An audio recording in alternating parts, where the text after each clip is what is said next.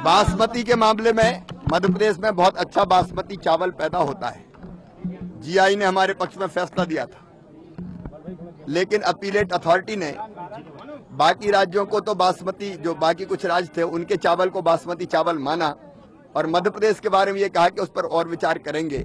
मैं मानता हूँ कि मध्य प्रदेश के साथ न्याय नहीं हुआ है। अगर हमारे चावल को बासमती नहीं माना जाएगा तो अंतर्राष्ट्रीय बाजारों में हमारा चावल जाता है। वो भेजना अवैध हो जाएगा इलीगल हो जाएगा।